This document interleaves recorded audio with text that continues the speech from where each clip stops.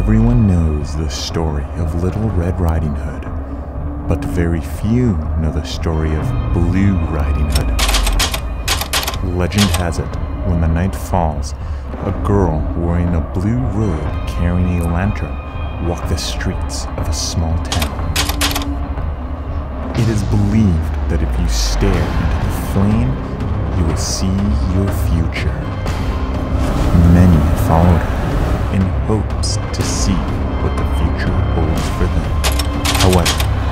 all that have followed disappear. All except one